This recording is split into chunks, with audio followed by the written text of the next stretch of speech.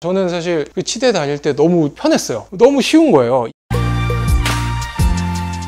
의대나 치대를 처음 들어가면 일반적으로 학생들이 뭐 공, 저같이 공대를 졸업했건 아니면 문과에서 왔건 뭐 그러니까 나름 그래도 이제 뭐 서울대 치대를 다니다 올 정도면 뭐 서울대나 뭐 카이스트나 포항군대나 뭐 연대 뭐 고대 뭐 이런 대학을 조- 학부로 졸업을 하고 오니, 오니까 나름 그래도 공부를 열심히 학점도 뭐 다 거의 다 올 A 뭐 A 이렇게 받았던 애들이 오는데 그런 애들한테도 저도 그랬지만 저도 처음에 서 의대 이제 본과 1학년 됐을 때 그랬지만 의대나 치대의 시험은 너무 특이해요 특이하고 힘들어요 왜냐면 눈이 얘기했듯이 맥락은 거의 없고 그냥 무작정 다 외워야 되는 거거든요. 제가 저번에도 얘기했지만 그냥 이뭐 마리 클레르 이 책이 있으면 여기 이렇게 이름이 적혀 있는 이런 거를 그냥 그대로 써라라고 나와요. 마리 클레르 밑에 이렇게 이름이 써져 있는데 이걸 순서도 안 틀리고 그대로 써라. 이런 게 의대 치대 시험이에요. 그리고 그것도 양도 되게 많고. 그러니까 처음에 적응하는데 되게 힘들죠. 1학년 올라와서. 왜냐면 다른 데는 아무리 뭐 암기 과목이 시험 과목으로 많은 문과 뭐 이런 데조차도 그래도 맥락이란 게 있고 어 뭐 외우는 것도 어느 정도의 양 같은 게 있는데 이거는 말도 안 되는 양을 뭐 단시간에 진도를 나가고 외우라 그러니까 근데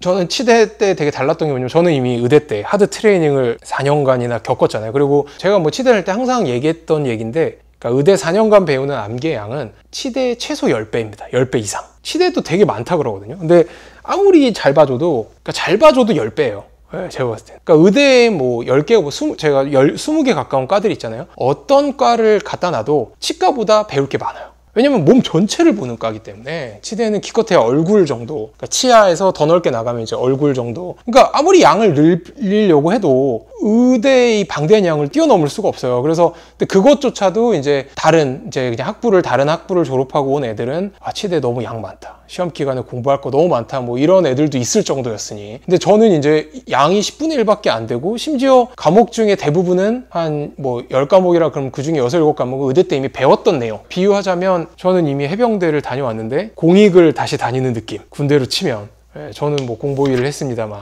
너무 쉬운 거예요. 이미 특히 1학년은 의대 때 다 배웠던 거를 똑같이 배우거든요. 심지어 그 난이도도 더 적죠. 왜냐면 의대는 몸 전체에 관련된 건데 아까도 얘기했지 치대는 이제 구강에 관련된 것만 배우니까 공부를 안 해도 어느 정도 알고 있고 심지어 암기법이나 뭐 공부하는 법 이런 것도 의대 때 죽어라고 했으니까 저는 사실 그 치대 다닐 때 너무 편했어요. 그러니까 딴 애들은 막 너무 막 힘들어하기도 하고 그리고 또 좀 달랐던 게 의대는 사실 저도 의대 다닐 땐 그랬지만 이제 나중에 이제 뭐 어떤 과를 지원을 할때 그게 뭐 정형외과냐 뭐 피부 과냐 뭐 과를 지원을 할 때 학점이 되게 중요하기 때문에 이제 학점을 다들 모든 사람들이 목표는 A를 맞기 위해서 공부를 해요. 200명 다. 근데 치대는 저희 치대가 한 학년이 몇 명이었죠? 뭐 100명이라고 치면 정확히 기억이 안 나는데 레지던트 TO가 한 30명밖에 안 돼요. 그러니까 70명은 아무리 레지던트를 하고 싶어도 할 수가 없어요. 그러니까 정말 공부 열심히 100명 중에 이제 정말 A를 받기 위해서 공부한 애들은 뭐 한 5, 60명. 그러니까 나머지 3, 40명은 레지던트 할 생각도 없고 그냥 저처럼 나이가 많은 사람도 있고 그러니까 또 치과는 또 레지던트의 필요성이 상대적으로 적다 보니까 그러니까